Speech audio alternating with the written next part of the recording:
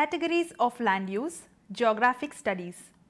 Nature has three major elements as land, water and air. All of them are essential to support not only the human life but also all other lives. Land. It is an area of the earth's surface including all elements of the physical and biological environment that influence land use. Thus, land refers not only to soil but also landforms, climate, hydrology, vegetation and fauna together with land improvements such as terraces and drainage works. Both economically and legally, past and present, all land has an owner and a title. This ownership is deep rooted. The titles of any land and parcels of land are firmly established and they should be used with proper planning. Human civilization As evolved over several centuries, human population thrived with several activities like searching food, constructing shelters, growing fodder, hunting animals, boating, fishing, swimming, playing and fighting for various reasons. The material requirement of the human increased along the growth of civilization and population. Preservation of resources became a necessity. Acquiring more land areas for cultivation, settlement and other purposes got increased. As the population started expanding, the need to explore new areas, discovering new land frontiers became a basic need as land was considered as a basic resource for all purposes. Art of irrigation was promoted and the art of organized human settlement was also encouraged.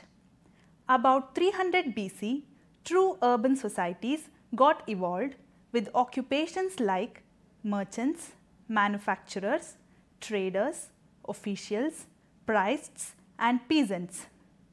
Growth of population and unplanned use of land resulted in deleterious effect on life and other resources. Humanly satisfying environment has become a necessity. People realize the importance of land use planning. In this episode, the following points are highlighted to understand the different categories of land use.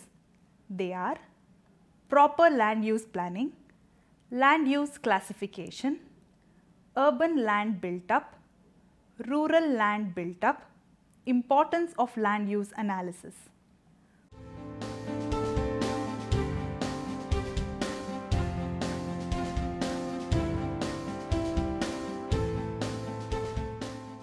Proper land use planning. Today, land has become a valuable natural resource for all life to thrive and for carrying out many socio-economic activities. Understanding and protecting of land and other resources has become a priority subject for all countries. Patterns of development were oriented towards process of growth, expansion or realization of potential, bringing the regional resources into full productive use. The land is utilized for different purposes such as cultivation of crops, settlements of population, creation of hydroelectric, thermal and nuclear projects, development of industries and maintaining forests and wildlife. Land use Definition Any kind of permanent cyclic intervention of land is called as land use. It is the surface utilization of a vacant or developed land for a clear purpose at a given time. Land use is the management of land to meet human needs. This includes rural land use and also urban and industrial use. It is often mixed with land cover also. land use and land cover. Land cover is defined as the observed biophysical cover of the earth's surface. Such an observation can be made by the human eye, aerial photographs, satellite sensors or simply existing maps. The definition embraces vegetation and man-made features and includes bare rocks, bare soils and water areas. Land use. Land use reflects the degree of human activities directly related to land and making use of its resources or having an impact. Two key aspects of land use are the products and benefits from use of the land and the operations applied to the land in order to produce these products and benefits. Land use is difficult to observe. Field and ground information such as surveys and censuses are usually required to study the products and benefits of land use. Land cover is about the biophysical aspect of land and land use is about the functional aspect of land. Land use is the cause and the land cover is the effect. Many of the land use operations lead to the change in land cover which is the consequence of interactions between the natural environment and the use. In agricultural senses, the area of the holding is classified according to its main land use. Knowledge of current land use is essential to support analysis and management of land, vegetation, water resources and quality and the maintenance of biodiversity. Land is a major agricultural and natural resource with significant impact on economic, environmental and social aspects of a nation and the world. Agricultural land use data are important for many of the regional and global activities.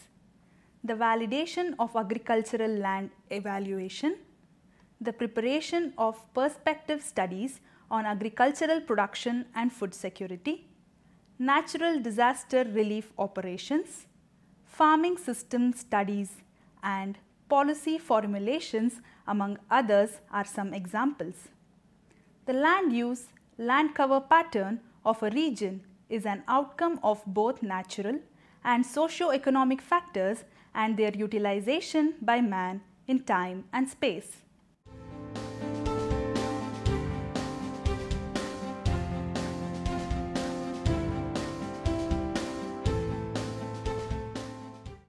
Land use classification. The objective is to provide a theoretical structure to guide data collection and creation of effective databases. Accordingly, a classification is expected to be as pragmatic and easy to understand as possible to be widely recognized and accepted. Land use is an emerging socio-economic activity wherein a region of one major specific purpose utility may be converted into another land for general purpose utility. A good agricultural land adjacent to a national highway is converted into a motel or hotel, fun park is typical examples. Population explosion.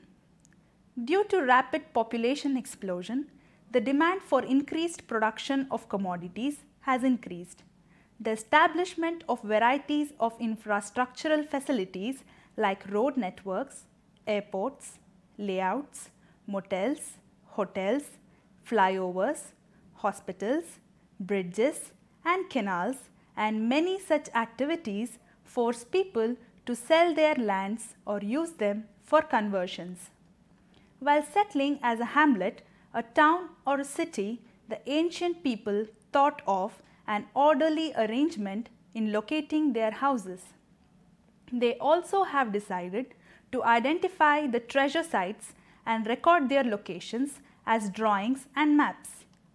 The land frontiers were considered to be very potential zones for socio-economic development. People gradually realized the need for a planned development of areas by preserving and conserving water, soil, rock and mineral resources. This way, the subject of land use planning came in. Land use planning is a separate branch of study in disciplines like geography, geology, town planning, architecture, forestry, agriculture, civil and environmental engineering and development studies. The economic value of a land depends upon the location within the topographic, geologic and geographic structure of the area. The utility value of a land depends on various geographic factors. The type of land use depends on the location, availability of water and soil, moisture soil fertility or proximity to other human activities. A large number of land use types and categories have been worked out by various researchers of different disciplines. The classification of a land into its various uses and how these uses change over a period of time provide the background information needed for planning land resources. There are two major groups of land use categories as urban land use and rural land use. Land utilized for residential, commercial, industrial, institutional, transportation, communications and general utilities all belong to the urban land use categories. All other land not classified as urban including agricultural land, farmland, cropland, rangeland and forest land belong to the rural land use categories in general. In this module, let us see the essential categories of land use. Agricultural development, urban development, forest development, water resources development, rural development, economic development and social development are all the aims of every state in every developing nation in the world.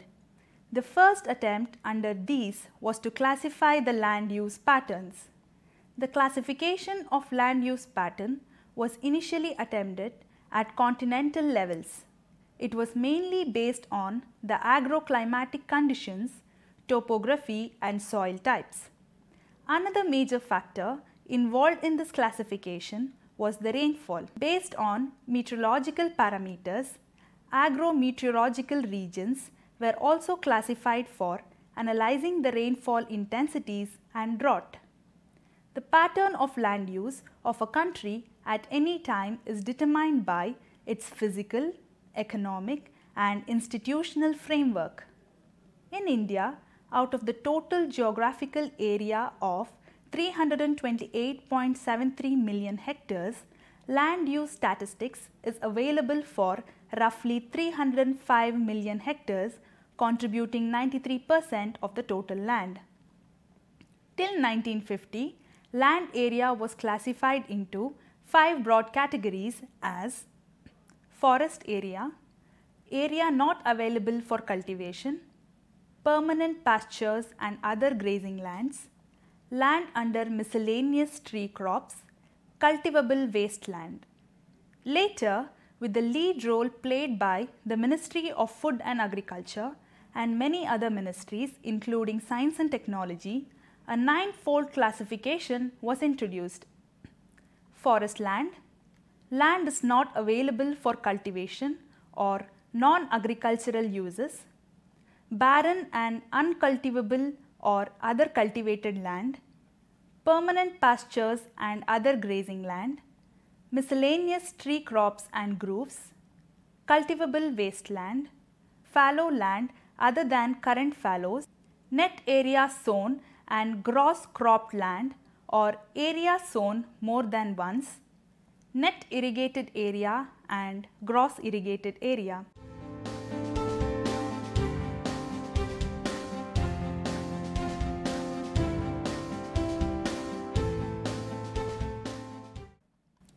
urban land built up. Today, urban land use is broadly classified into the following classes. Built up of urban land.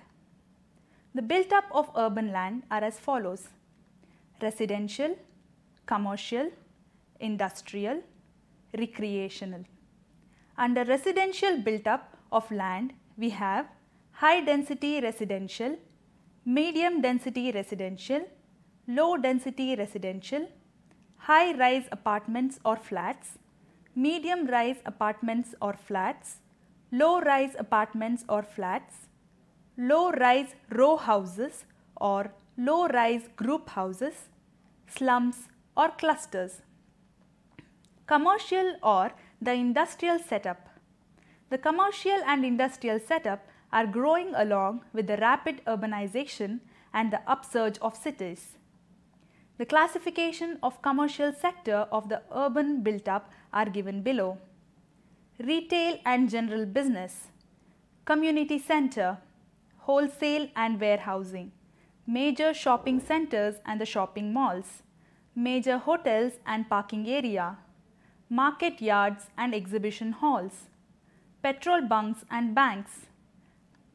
The classification of the industrial sector are service industry, light industry or extensive industry, heavy industry or hazardous industry. Recreational parks helps in improving our physical and psychological health to strengthening our communities and making our cities and neighborhoods more attractive places to live and work.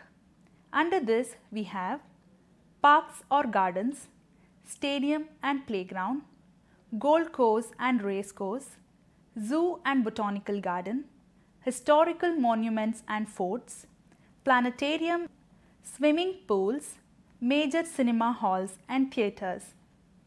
Public and semi-public places in the urban built-up are major education institutes, cantonments or the major hospitals, cremation or burial grounds, religious places, major government offices, petrol or gas filling stations, the police station and jail, fire station, water treatment plants, landfill and dumping ground, electric power plant and sewage treatment plant.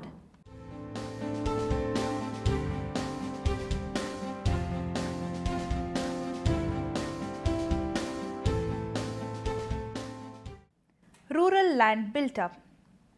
Under rural land built up, we have rural agricultural land, vegetation or forests or grazing lands, the water bodies.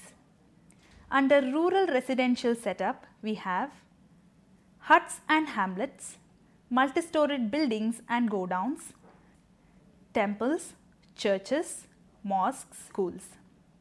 Rural agricultural land built up are classified as cropland, fallow land, plantation or agricultural area.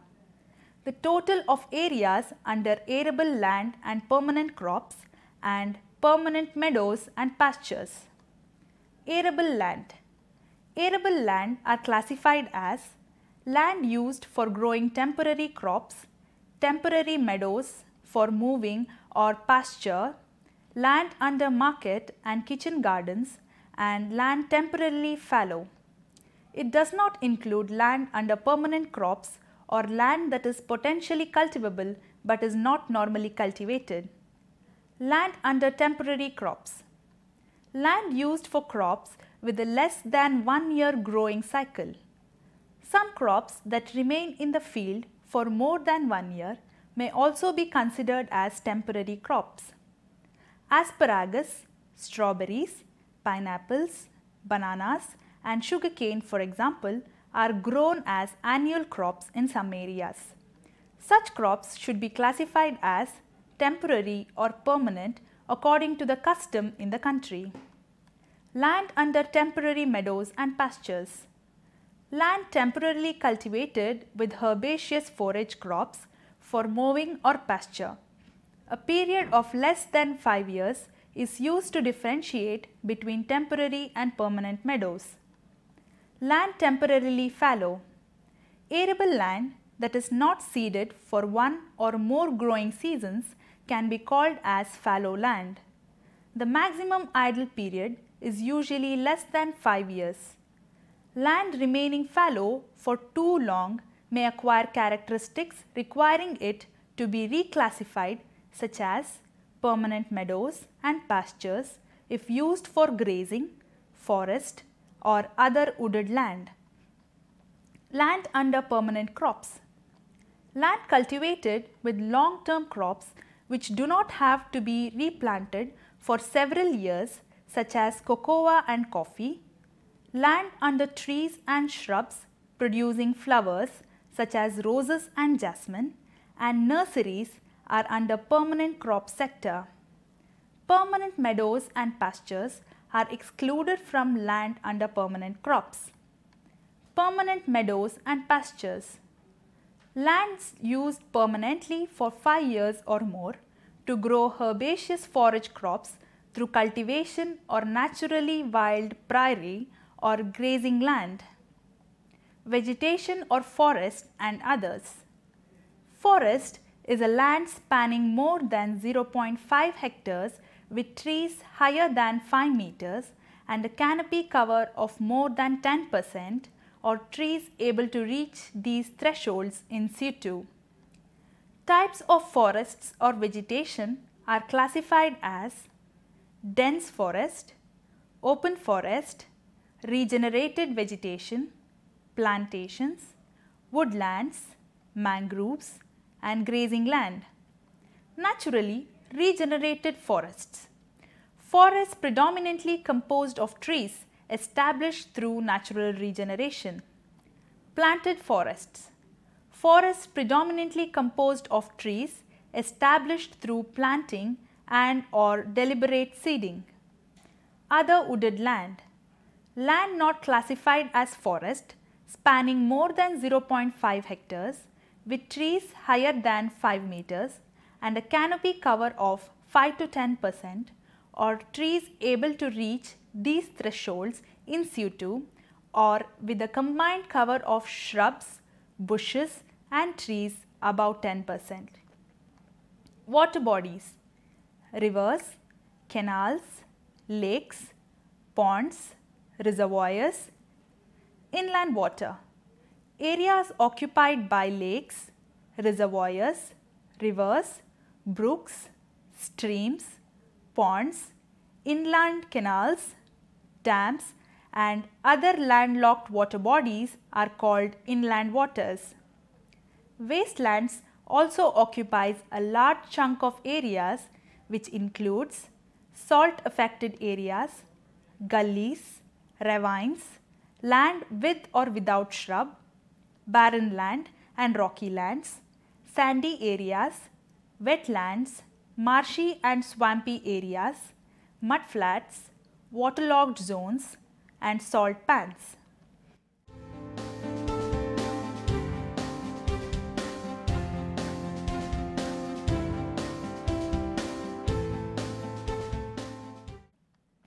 Importance of land use analysis. Land use analysis is necessary to understand revenue administration, town planning, urban design, infrastructure development, environmental audit, habitat mapping, ownership, surface damage analysis due to disasters, change detection, surface disturbances, encroachments, pollution, etc. Land is a finite resource. While one land is used for a limited range of purposes, the other land can accommodate many potentially competing uses. The amounts of land used for each purpose are constantly changing. The nature and extent of these changes are very important for planning. Establishment of new housing on a previously developed land is a major area of concern in most of the cities. Town planning, land use planning and urban design are problem solving issues for many professions. They address the social, physical and economic well-being of cities and towns. Development studies involve proper utilization of the land resources. This study of land use also provides country level information on several variables including agricultural land, cropland, land under temporary crops, land under temporary meadows, land temporarily fallow, land under permanent crops, permanent meadows and pastures, forests or other wooded land and other lands. Land use, land cover patterns. Land use and land cover patterns of an area are generally controlled by agroclimatic conditions, groundwater potential and hosts of other factors like irrigation facilities, soil characteristics, socio-economic status and demography.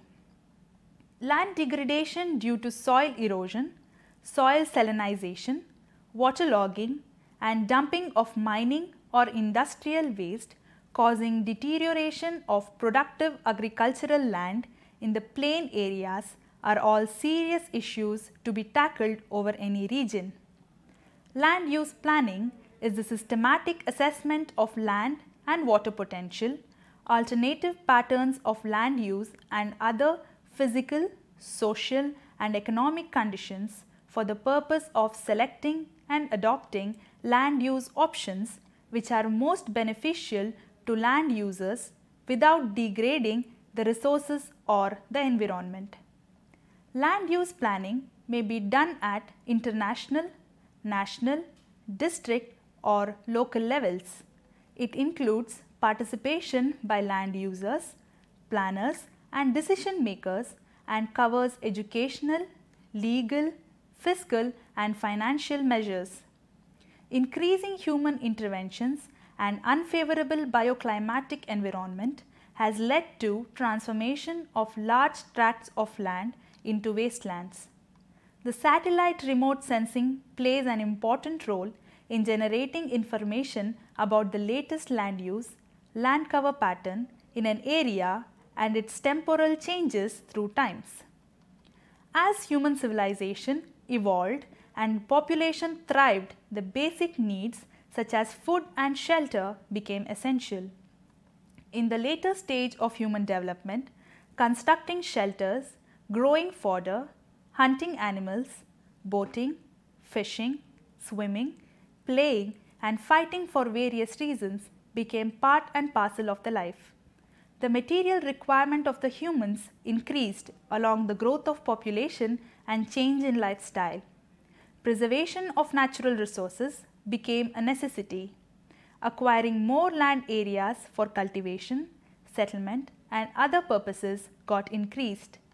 The land use has grown with the time and space. As the population started expanding, the need to explore new areas, discovering new land frontiers became a basic need as land was considered as a basic resource for all purposes.